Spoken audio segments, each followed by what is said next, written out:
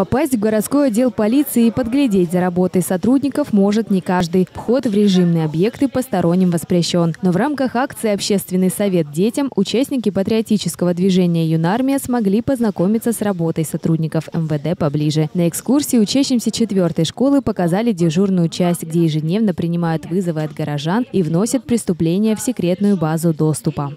Вот это вот входит у нас с телефоном, видите?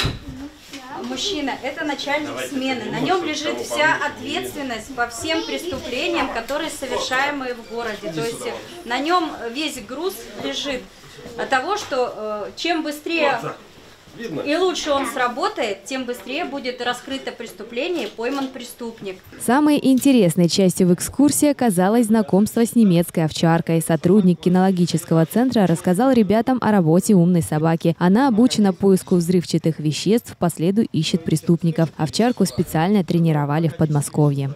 Лежать вы делаете таким образом, чтобы как будто это было в виде жеста.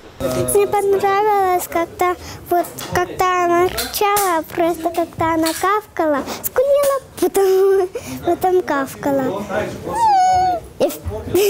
Завершающим этапом экскурсии стала демонстрация оружия и спецсредств, универсальный набор сотрудников МВД. Это пистолет Макарова, автомат Калашникова, наручники, электрошокеры, бронежилеты и многое другое. Такие встречи с детьми и подростками проходят регулярно.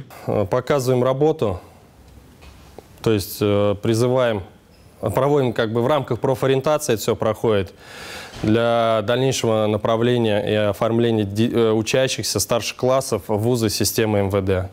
То есть готовим для себя будущих сотрудников полиции. Экскурсии в городской отдел полиции проводят как для самых юных школьников, так и для старшеклассников.